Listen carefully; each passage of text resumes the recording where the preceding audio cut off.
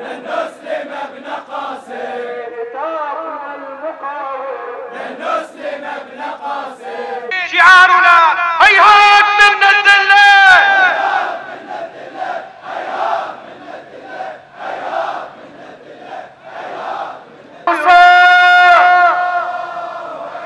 يا بني